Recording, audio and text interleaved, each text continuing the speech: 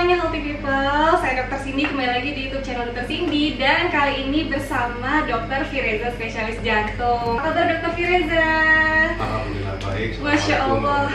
Waalaikumsalam warahmatullahi wabarakatuh. Jadi beliau ini adalah dosen saya.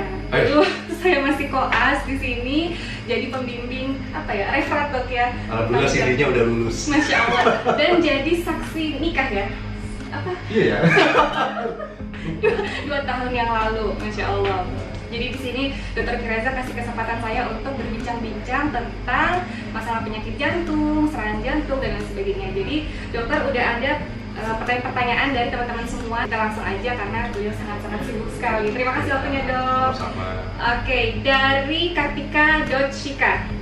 Hai Dr. Cindy Dr. Fireza, kalau nyeri dada lalu terhenti aktivitasnya, berapa menit kemudian pulih dan melakukan aktivitas kembali secara pelan-pelan? Apakah itu serangan jantung atau gejala itu dok? Terima kasih. Ya mungkin pertama-tama saya eh, jelasin dulu ya buat kawan-kawan. Manggilnya apa sih sih? Eh, healthy people bebas ya. healthy people ya. Buat eh, teman-teman healthy people, ya serangan jantung tuh mesti diketahui dulu kayak gimana. Jadi eh, serangan jantung itu kan sebetulnya sakit yang ada di dada ya, dada kiri Eh, lamanya 20 sampai 30 menit. Jadi ya cukup lama ya. Ya nggak berhenti berhenti sakit tembus ke punggung itu seperti kayak ditusuk-tusuk kayak ditiban kayak ditimpa benda yang berat. Ya intinya sakit sekali. Intinya sakit sekali. Dan biasanya penderita disertai keringat dingin jadi kalau ada ada keluhan seperti itu ya biasanya itu serangan jantung. Eh, tentunya eh, teman-teman people mesti membawa keluarganya atau mungkin eh, kerabat yang sakit seperti itu ke UGD Langsung ke UGD. langsung ke UGD ya. Tapi kalau di rumah ada tablet eh, ISDN atau kita sebut nitrat gitu ya di apotek dijual silahkan beli. Nah, itu sediakan di rumah. Kalau itu ada bisa dibantu masukkan ke dalam mulut penderita diminta untuk dihisap di bawah lidah Oh, di bawah lidah sampai habis gitu. Dan kalau punya aspilet juga tablet aspilet itu bisa dikunyah sebanyak 2 sampai 4 tablet gitu. tadi pertanyaan tadi tentang Jadi apakah itu termasuk serangan jantung?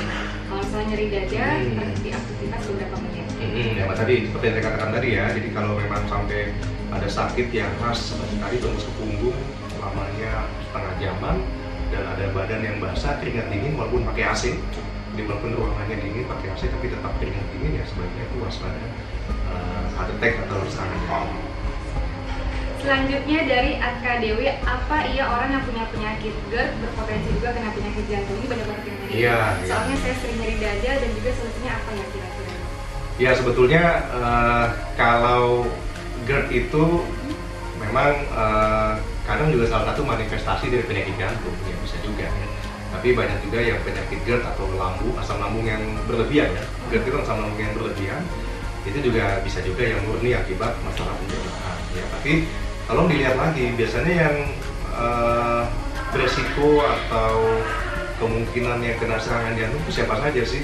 Ya kan kemungkinannya kan ada pasien dengan diabetes mellitus, kencing manis, pasien dengan hipertensi, darah tinggi ya, lalu pasien dengan kolesterol yang tinggi, tidak pernah olahraga, lalu eh, gerak ya, teman-teman. ya tidak pernah olahraga, tidak ada aktivitas fisik, lalu apa namanya?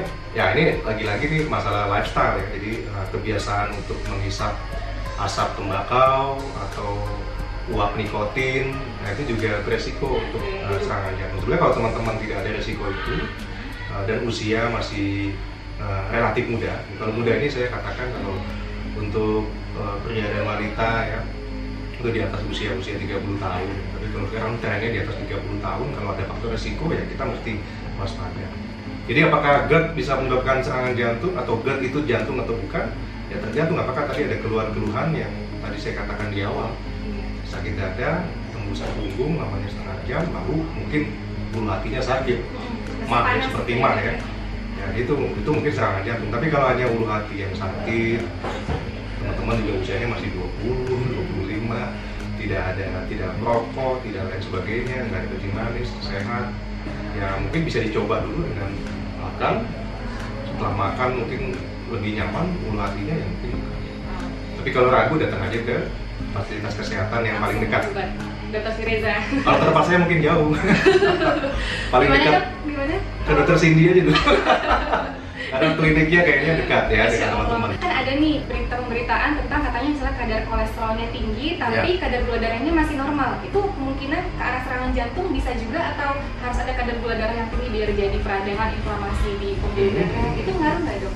Yang jelas, yang jelas sekali lagi kencing manis, kencing manis itu kan tandanya gulanya tinggi.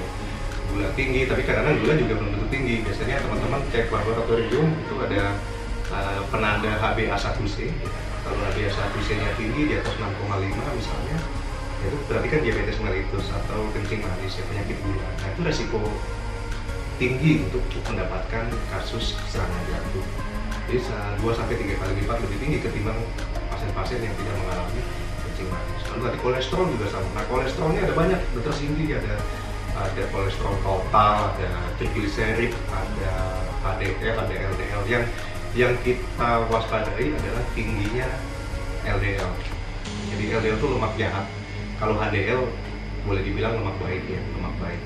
Nah kalau LDL-nya tinggi, ya senang makan makanan yang santan-santan, minyak-minyak ya, itu juga beresiko untuk mengalami serangan jantung. Apalagi sudah kolesterol tinggi, kencing manis. ditambah lagi ya makin beresiko Jadi ya. makin berlipat-lipat resikonya. Terus katanya kalau olahraga itu dok dapat meningkatkan HDL, jadi otomatis LDL akan turun dok. Iya. Sangat berpengaruh sekali. Jadi kalau teman-teman mau mencoba menurunkan LDL, mungkin tambah obat ya. Tapi kalau kadar LDL-nya tertentu yang sangat tinggi kita mesti pakai obat. Tapi kalau tidak, teman-teman bisa coba dengan aktivitas fisik yang rutin, yaitu olahraga. Jadi nggak ada nggak ada alasan untuk tidak olahraga di mana pun anda bisa lakukan. Nggak mesti di tempat yang mahal ya. Bisa di, di, di komplek, di rumah. Kalau dokter Cindy lagi jaga nggak sempat juga bisa jogging-jogging aja di di sekitar klinik juga bisa loh gitu. Jadi itu yang penting itu eh, dan menjaga pola makan ya jangan sampai makanannya yang lemak-lemak yang tinggi lemak juga Yang tinggi garam juga dok ya. tinggi garam bahaya buat hipertensi ya kalau tinggi garam senangnya senangnya apa kalau kita bilangnya kurang asin nih gitu ya Hmm, hmm. Nah, itu juga nggak boleh soalnya menyebabkan eh, tekanan darah tinggi. Jadi makin lama jantung makin berat dok ya untuk ya jadi intinya olahraga itu perlu jaga apa namanya jaga pola makan yang baik. Teman-teman bisa browsing di di mana saja. Saya nggak nggak mau membahas mengenai diet mana yang paling Hmm, baik. Hmm. tapi yang paling penting adalah menjaga makanan tidak berlebihan eh, lemaknya tidak berlebihan. Ada juga tetap perlu protein dan karbohidrat dengan jumlah yang cukup. Dan tolong ini yang penting nih hindari asap asap yang mengandung eh, bakau nikotin dan lain sebagainya Karena itu juga bisa buat pembuluh darah semakin kaku gitu dok semakin ya. kaku dan dia menyebabkan kolesterol mudah mengendap apalagi ditambah ada penyakit kencing manis kalau anda udah punya penyakit kencing manis maka eh, LDL tadi lebih lebih lebih berdampak untuk timbunan plak di pembuluh darah. Selanjutnya dari SK Makliro, saya pernah pas Banyak ya? main bola basket. Ini main bola basket dok, tapi dada tiba-tiba nafasnya kayak berhenti. Nah itu kira-kira kenapa ya? Ya kalau pengikut apa followernya dokter Siri kemungkinan mudah-mudahan. ya kalau kita olahraga dan itu salah satunya basket. Ya biasa saja ya kalau memang ternyata nanti jadi lelah, kecapean atau mungkin teman-teman sudah intensitasnya sudah sangat tinggi melebihi eh, kemampuan fisik ya mungkin juga belum terlatih betul main basket atau olahraga. Ingin main yang lebih yang lebih berat gitu atau lebih lebih giat ya pasti akan kelelahan. Lelah maka tubuh akan memberikan respon untuk eh, berhenti atau untuk stop. Bisa dengan jantungnya berdetak lebih sangat lebih cepat. Lalu bisa juga dengan sangat-sangat kehausan atau fatigue atau lelah yang berlebihan. Itu saatnya kita berhenti. Makanya tentu saja teman-teman sebaiknya menyadari betul kemampuan fisiknya sudah sejauh apa dan rutinitas aktivitas fisiknya sudah sangat rutin atau belum? Kalau masih kadang-kadang olahraganya ya jangan lakukan olahraga yang, yang berat ya. Jadi yang ringan aja asal 3 sampai 5 kali seminggu itu lebih baik daripada satu kali seminggu tapi angkat besi gitu misalnya atau, atau main basket sampai satu jam. Nah iya itu dok. Jadi misalnya ada nih olahraganya yang berat-berat itu bisa nggak sih dok pengaruhnya ke jantung jadi bengkak gitu istilahnya otot jantungnya makin membesar jadinya berat itu bisa pengaruh ke? Ya ada penelitian-penelitian yang seperti itu ya. Jadi uh, olahraga kalau boleh saya bagi menjadi tiga olahraga ringan, sedang dan berat. Ya ringan, sedang, berat itu berdasarkan apa?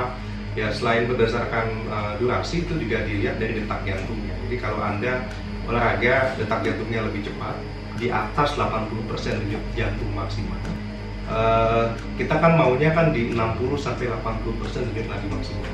Jadi kalau teman-teman yang suka pakai jam tangan yang ada denyut jantungnya itu bisa bisa ketahuan. Yang ngecek ya dok ya? Apa aja boleh, ya, yang membuat tanaman aja boleh. Yang penting uh, nggak juga nggak punya juga bisa gitu.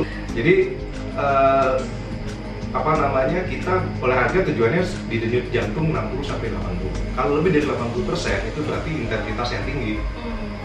Bukan nggak boleh, tapi kalau anda belum terlatih dan tidak dilakukan dalam durasi yang ya, tahapan yang lebih lama dan terlatih ya, sebaiknya jangan. Jadi mulai dulu mulai dulu dengan olahraga yang ringan ya 60 persen denyut jantung maksimal, pelan-pelan naik ke 70 persen denyut jantung maksimal, naik ke 80 persen denyut jantung maksimal. Berapa kali? 3 sampai 5 kali seminggu. Berapa menit? 30 sampai 45 menit udah cukup. Udah cukup. Satu jam kelamaan. Seminggu berapa kali dok? 3 sampai 5 kali seminggu. Teman-teman coba dulu 3 kali seminggu, naik 4 kali seminggu, 5 kali seminggu. Itu lakukan bertahap, continue, kalau misalnya untuk sini istiqomah. Istiqomah. Olahraganya mesti istiqomah ya. Harus konsisten dan perlahan ya dok ya. Terus dok, misalnya olahraga itu baiknya itu pagi, siang, atau malam pun nggak apa-apa gitu dok?